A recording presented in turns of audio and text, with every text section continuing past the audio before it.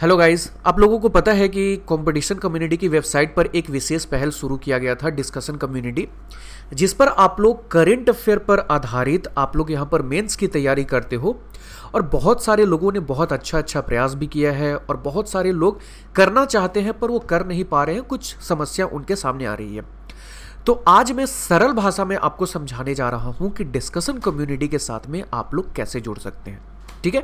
तो एक एक स्टेप बहुत ध्यान से सुनिएगा, बहुत ही सरल है। कुछ नहीं करना है, आपको सबसे पहले आप किसी ब्राउज़र में कॉम्पिटिशन कम्युनिटी सर्च कीजिए। जैसे ही कॉम्पिटिशन कम्युनिटी सर्च करोगे, आपके सामने इस तरह से हमारी वेबसाइट का होम पेज ओपन होगा। यहाँ पर ऊपर जाइए, आपके सामने दो तरह से ऑप्शन दिख रहे हैं। एक लॉगिन दिख रहा है और एक रजिस्टर दिख रहा है। तो अगर आप हमारी वेबसाइट के पुराने यूज़र हैं तो आप यहाँ से लॉगिन कर लीजिए। और अगर आप नए हैं तो यहाँ पर बगल में जो रजिस्टर वाला ऑप्शन दिख रहा है, इस पर क्लिक करके यहाँ पर सारी अपनी इन्फॉर्मेशन जो भी डिटेल है, वो सारे इसको फुलफिल कर लीजिए। एक बात ध्यान रखिएगा मोबाइल नंबर और मेल आईडी दोनों आपका वैलिड होना चाहिए, जो आपके पास में है, वही डालिए, क्योंकि इस पर एक लिंक आएगा और एक ओटीपी आपके मोबाइल नंबर पर आएगा, जो कि आपको रजिस्टर करने में यहाँ पर हेल्प करेगा। ठीक है? इसके बाद जब आप रजिस्टर हो जाएँगे तो जो यूज़र आईडी और पासवर्ड आपने यहाँ पर डाला है वो यूज़र आईडी और पासवर्ड यहाँ पर डालकर आप लॉगिन कर लीजिए। क्योंकि ध्यान रखिएगा डिस्कशन कम्युनिटी पर आप ऐसे तो जा सकते हैं, लेकिन बिना लॉगिन किए आप उस पर कमेंट नहीं कर सकते। अगर यहाँ आपने लॉगिन कर लिया तो यहाँ जो आपके छोटे छोटे बॉक्सेस दिख रहे हैं, यहाँ पर नीचे पर देखो, यहाँ से भी आप जा सकते हो। जो डिस्कशन लिखा हुआ है या फिर विचार, यहाँ पर क्लिक कीजिए। तो यहाँ पर जैसे ही क्लिक करोगे तो यहाँ पर आपको देखो दो तरीके चीज़ें देखेंगे। एक तो डिस्कशन कम्युनिटी दिख रहा है, एक तो क्वेश्चन कम्युनिटी दिख रहा है। तो आप यहाँ पर क्लिक करो डिस्कशन कम्युनिटी पर। ठीक? जैसे ही डिस्कशन कम्युनिटी पर क्लिक करोगे, यहाँ पर आपके सामने डिस्कशन कम्युनिटी का पेज ओपन हो गया होगा और यहाँ पर देखिए। दो तरह से चीज़ें दिख रही हैं, एक राष्ट्रीय और अंतर्राष्ट्रीय मुद्दे और दूसरा आपका छत्तीसगढ़ के मुद्दे।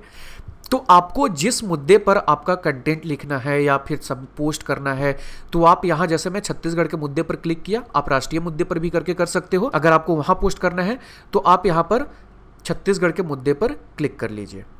ठीक? तो छत्तीसगढ़ के मुद्दे पर जैसे ही क्लिक करोगे, आपके सामने इस तरह से पेज ओपन हो जाएगा। अब यहाँ पर देखो, बहुत सारे आपको ऑप्शन मिलेंगे। जैसे ही आपने छत्तीसगढ़ के मुद्दे पर क्लिक किया तो हमने हर हफ़्ता जो शुरू किया था, उसमें दिखेगा। जैसे इस हफ़्ते जो हमने टॉपिक क्रिएट किया है, वह छत्तीसगढ़ की वर्तमान शैक्षणिक स्थिति में युवाओं के समक्ष चुनौतियाँ और संभावनाएँ। इसके अलावा देखो, छत्तीसगढ़ में कुपोषण की स्थिति और सरकार के प्रयास।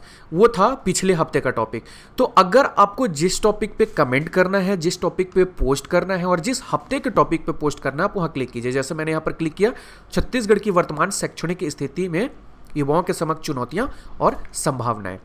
जैसे ही मैं इस पर क्लिक करूँगा, अब मेरे सामने यहाँ पर ये सारे जितने लोगों ने पोस्ट किया है और जितने सारे लोगों ने लिखा है, उन सबका यहाँ पर विकल्प खुल जाएगा। ठीक है? इसके बाद आप जितने लोगों ने लिखा है उसको पढ़ भी सकते हैं। और नीचे देखिए, यहाँ पर जिन लोगों ने पोस्ट किया है, उनके पोस्ट पर आप नीचे यहाँ पर कमेंट भी कर सकते हो। और जब आपको अपना पोस्ट कमेंट करना है तो आप यहाँ पर देखो कमेंट, टॉपिक के नीचे में भी कमेंट है, उस पर क्लिक करो। और उस पर क्लिक करके या तो आप टाइप करके यहाँ पोस्ट कर सकते हो। और अगर आप टाइप नहीं कर पा रहे हो तो आप यहाँ से चूज़ दी फ़ाइल बगल में दिख रहा है। घर में कॉपी पे या पेज पे लिख लो। फ़ोटो खींच लो, या आप उसको पीडीएफ में भी कन्वर्ट कर सकते हो। और इस चूज़ दी फ़ाइल के ज़रिए आप यहाँ से आसानी से अपने फ़ोटो अपने इमेजेस अपने फ़ाइल को भी अटैच कर सकते हो। ये सभी हमारे तक पहुँच जाएँगे।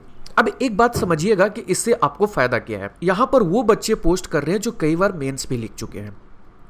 और यहाँ पर वो बच्चे भी पोस्ट कर रहे हैं जो बहुत वीक हैं या फिर अभी अभी तैयारी शुरू की है या उत्तर लेखन के बारे में उनको ज़्यादा जानकारी नहीं है। तो जो बच्चे कमज़ोर हैं और जिनको उत्तर लेखन के बारे में ज़्यादा जानकारी नहीं है, वो दूसरों बच्चों जिन्होंने अच्छा लिखा है और जो अच्छा लिखते हैं, उसके बारे में हम लोग लगातार आपको अपडेट करते रहते हैं। तो उन बच्चों से आप यहाँ पर सीख सकते हो कि कैसे लिखा जाता है। इसके अलावा हम लोग एनालिसिस वीडियो भी देते हैं। तो वो एनालिसिस वीडियो देखकर भी आप बहुत कुछ सीख सकते हो। और जो बच्चे टॉपर हैं उन्हें भी एक फीडबैक मिलेगा कि क्या आप सही तरीके से जा रहे हैं, या फिर जिस वजह से भी आपका सिलेक्शन नहीं हुआ है, क्या उसमें कुछ तरह से चेंजेस आ सकता है। तो यहाँ पर बहुत सारे फ़ायदे रहेंगे एक दूसरे के समक्ष में।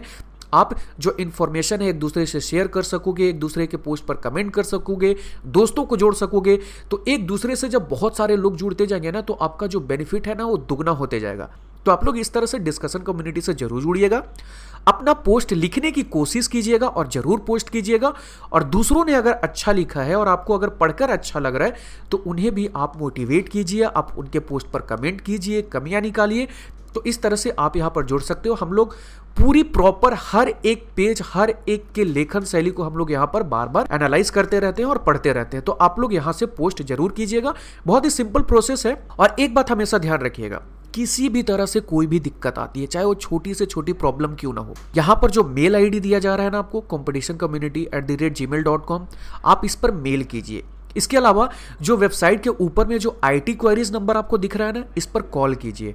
अगर आपको यहाँ पर किसी भी तरह से इससे जवाब नहीं मिल रहा है तो आप मुझसे डायरेक्ट कांटेक्ट कर सकते हैं। मैं अपना यहाँ पर मोबाइल नंबर दे रहा हूँ। उस मोबाइल नंबर पे आप डायरेक्ट कॉल कर सकते हो। मेरा मोबाइल नंबर आपके स्क्रीन के ऊपर में है, फिर भी आप लिख लीजिए nine zero nine eight double six two five seven two आप इस पर डायरेक्ट कॉल कर सकते हो। लेकिन आप मेल ज़रूर कीजिएगा। अगर किसी भी तरह से छोटी सी छोटी भी दिक्कत आ रही है तो क्योंकि हम लोग यहाँ आपके लिए बैठे हैं और आपकी समस्या जो है वो हमारी समस्या है। तो इस तरह से आप लोग डिस्कशन कम्युनिटी से ज़रूर जुड़िएगा। धन्यवाद।